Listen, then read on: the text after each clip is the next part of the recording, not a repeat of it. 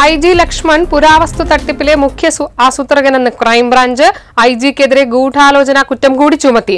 അന്വേഷണത്തിൽ സുപ്രധാന തെളിവുകൾ കിട്ടിയെന്നും ക്രൈംബ്രാഞ്ച് കോടതി അറിയിച്ചിരിക്കുന്നു. വിവരങ്ങളുമായി എൻ കെ ഷിജു ചേരുന്നുണ്ട്. ഷിജു ചോദ്യം ചെയ്യലിന് ഹാജരാകാത്തതിന് പോലും വിമർശനമുണ്ടെന്ന് മനസ്സിലാക്കുന്നു. എന്തെല്ലാമാണ് ക്രൈംബ്രാഞ്ച് പറയുന്നത്?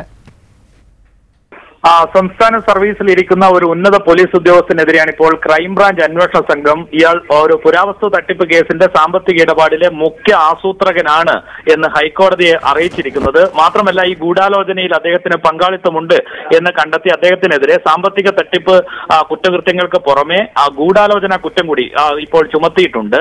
ഈ കേസിൽ നേരത്തെ ചോദ്യം ചെയ്യലിൽ നിന്ന് ഹാജരാകാതിരിക്കാൻ അദ്ദേഹം ഹാജരാക്കിയ മെഡിക്കൽ സർട്ടിഫിക്കറ്റിലും ഇപ്പോൾ അന്വേഷണ സംഘം സംശയം പ്രകടിപ്പിച്ചിട്ടുണ്ട് കോടതിയിൽ. അതായത് തിരുവനന്തപുരം നഗരത്തിൽ ഒരുപാട് ആയുർവേദ ആശുപത്രികൾ ഉണ്ട് എന്നിരിക്കെ ഉന്നത ആശുപത്രികൾ ഉണ്ടെന്നിരിക്കെ വെള്ളായണിയിലെ ഒരു ഡിസ്പെൻസറിയിലാണ് ആയുർവേദ ചികിത്സക്കായി ഈ ഐ ജി ലക്ഷ്മൺ പോയത്.